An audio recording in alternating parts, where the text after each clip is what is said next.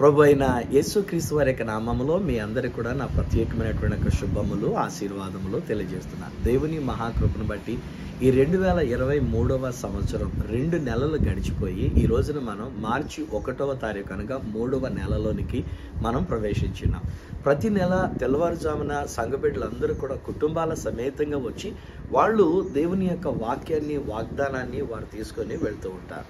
ఈ దినం నేను సంఘానికి ఇచ్చినటువంటి ఒక వాగ్దానం ఏంటంటే ఇర్మియా గ్రంథంలో నుండి ముప్పై రెండవ అధ్యాయంలో నుండి ప- ఇరవై ఆరు ఇరవై ఏడు వచనాల్లో ఉన్నటువంటి ఒక మాటలు అది నేను జ్ఞాపకం చేసిన దేవుడైన యహోవా వాకు ఇర్మియాకు ప్రత్యక్షమై సెలవిచ్చినటువంటి ఒక మాట ఏంటంటే నేను సర్వ శరీరులకు నేను దేవుడను నేను యహోవాను.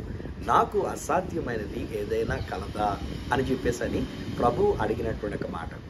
దానికి ముందుండినటువంటి ఒక వచనాలలో ఇర్మియా ప్రవక్త ప్రార్థన చేస్తూ కూడా అంటాడు కదా నీవు శూరుడవు నీవు మహోన్నతుడు అయినటువంటి ఒక దేవుడవు నీకు అసాధ్యమైనది ఏది లేదు అని ఇర్మియా ప్రవక్త కూడా సెలవిస్తూ ఉంటారు.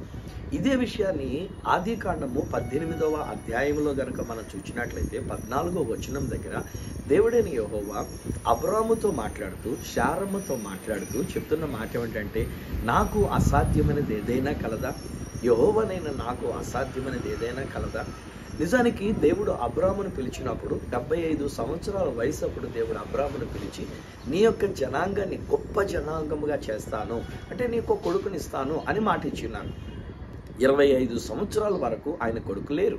ఆ తర్వాత దేవుడు పదిహేడవ అధ్యాయం మొదటి వచనంలో ఏమంటాడంటే తొమ్మిది తొమ్మిది ఏండ్ల వయసు వచ్చినప్పుడు దేవుడు అబ్రాహ్మను పిలిచి అంటాడు నా సన్నిధిలో నువ్వు నడుచుచు నిందారహితముగా మంచిగా జాగ్రత్తగా నడుచుకో. మీదటికి ఈ కాలమునకు నేను వచ్చినప్పుడు నీ భార్య అయినటువంటి యొక్క చేతుల్లో ఒక కుమారుడు ఉంటాడు. నాకు అసాధ్యమైనది ఏదైనా కలదా అని దేవుడి సెలవిచ్చినాడు. ఒకసారి ఆలోచించేయండి. మీదటికి సంవత్సరానికి కాలానికి అంటే పన్నెండు నెలలు. కానీ అబ్రాహ్మ గారు ఆ వాగ్దానం వచ్చిన తర్వాత కూడా అసాధ్యమైనది ఏదైనా ఉన్నదా అని చెప్పిన తర్వాత కూడా బహుశా మొదటి నెల ఏమీ కనబడలేదు. రెండవ నెల ఏమీ కనబడలేదు. మూడవ నెలలోనికి వచ్చిన తర్వాతనే ఆమె అనగా శార గర్భవతి అయింది కనుక తొమ్మిది నెలలు గర్భాన్ని మోసి ఆ తర్వాత ఆ వచ్చే సంవత్సరం ఆ టైంకి తన చేతుల్లో కుమారుణ్ణి కలిగింది.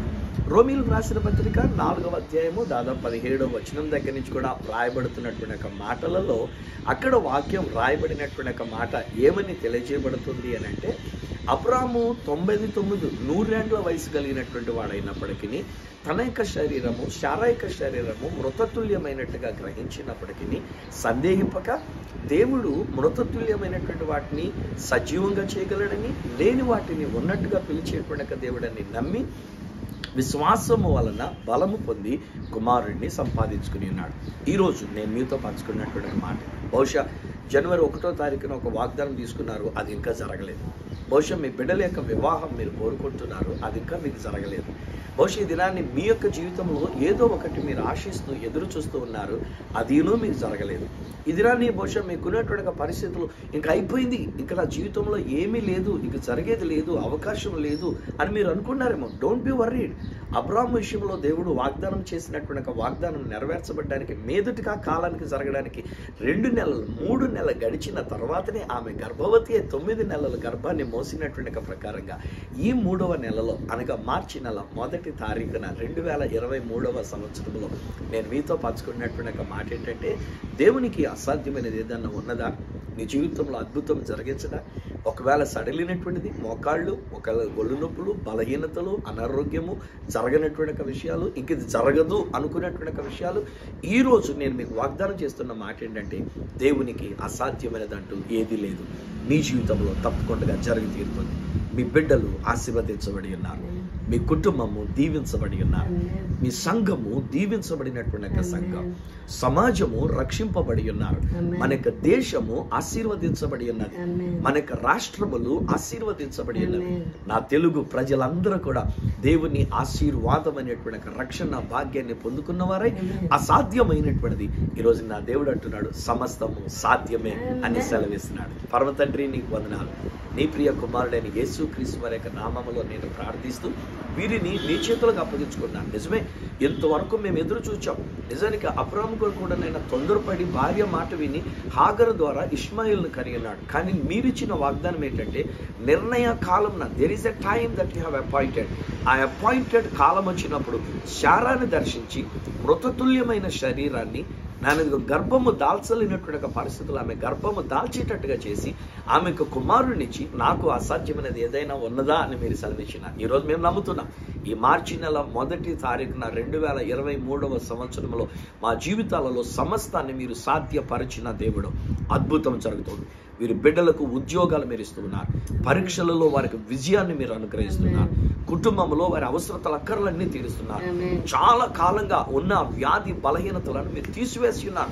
నిర్ణయ కాలంలో మీరు మమ్మల్ని ఆశీర్వదించినారు. నీ రక్షణ భాగ్యాన్ని మాకు అనుగ్రహించినారు.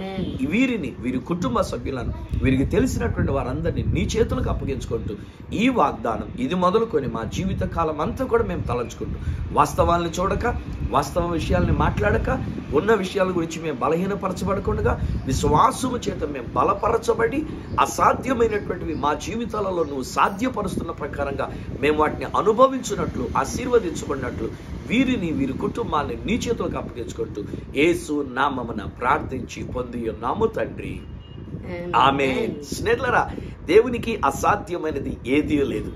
మీ జీవితంలో ఆయన వాగ్దానం చేసినది తగిన కాలంలో ఏమో ఈ నెలలోనే ఏమో ఒకవేళ వచ్చే నెలలో లేకపోతే వచ్చే సంవత్సరము ఆయన నిర్ణయ కాలంలో ఆయన మీ కొరకు చేయడానికి దేవునికి సమస్తము సాధ్యమే. మీరు ఆశీర్వదించబడి ఉన్నారు. ఆమె